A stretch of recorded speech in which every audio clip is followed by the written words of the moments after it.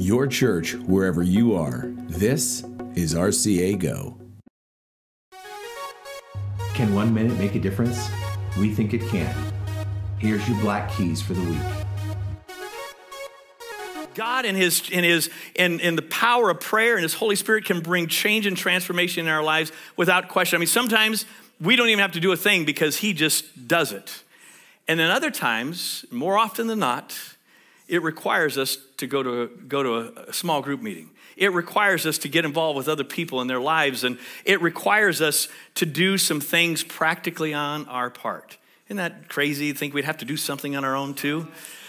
It has to, it has to be that way.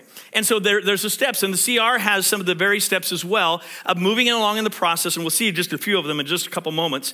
But when someone sincerely works these steps, like we have in CR, you work these steps coupled in with the, a relationship with Christ and the power of the Holy Spirit working in your life. It's not about a checklist. It's not about, well, I'm at step three and I'm at step five, and, and when I get to this step eight, then I'll really have transformation. God has given you the change and transformation that you need immediately. But we still carry around some of the same junk.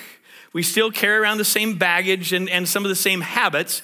And so you have to act your way into a feeling. This has been the Black Keys, produced for RCA Church by RCA Go. To enjoy Pastor Todd's full message, please search for Todd Talks on RCA Go's YouTube channel. You've been enjoying RCA Go, where there's always something more to watch, learn, and love. If you'd like to stay up to date with all of our productions, please subscribe to our YouTube channel now.